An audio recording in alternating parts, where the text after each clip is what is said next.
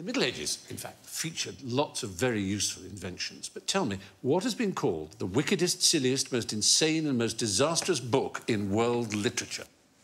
Uh, the Liar by Stephen Fry. it probably is. Mein Kampf. Yeah. No, that would I'm be a very sensible guess. And in the interest of balance, the Da Vinci Code also. Yes.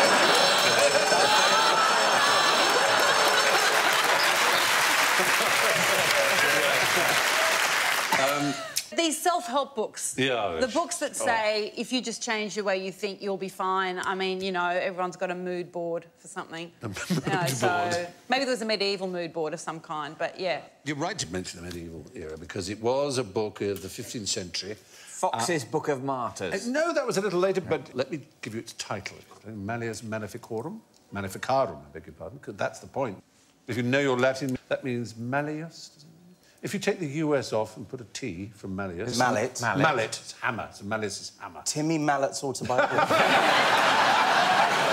Sorry, I'm bringing the tone down. I know, I know I am. I know. No, you're not. Is it the Malefic? Is that like the, the, the bad doing hammer thing? You know. But that's the of the, that's genitive. Oh, Come oh. on, boy, that's Come on.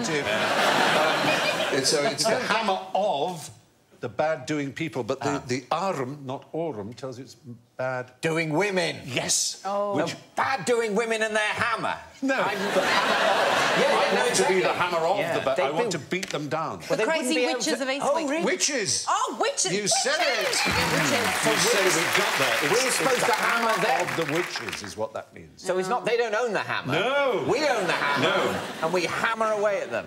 I am more confused than when I talked about mini milk. I... So we had a Latin parsing essay, Right. in which the Malleus Maleficarum turned out to mean the hammer of witches, the, Right. ha- the, the way to beat witches, and this was a, a textbook about how to destroy and find witches. Now it was strange because it was mid 15th century. In the mid 15th century, the church banned belief in witches. So this wasn't a time of witch burnings or anything of the nature. But the very nature of the success of the book meant that a slow movement grew in which witches should be found and burned and tortured and so on. And this book was therefore called the silliest, most wicked book ever mm. written because it made appalling claims about women that, for example, that they dispossessed men of their penises. As if.